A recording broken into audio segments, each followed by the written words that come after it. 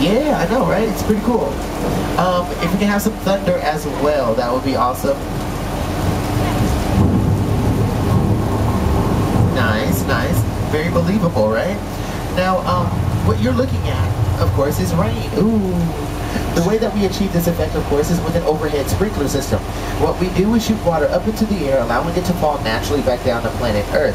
Now, years ago, water didn't really show up too well on film, so the idea came along to add powdered milk, also changing the gauges to create bigger raindrops. What's going on back here? I don't know. What? What are you guys pointing at? I don't get. Oh.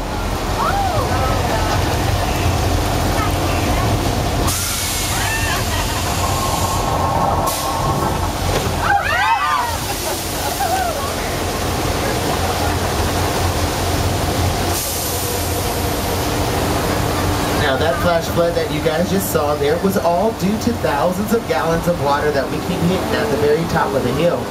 On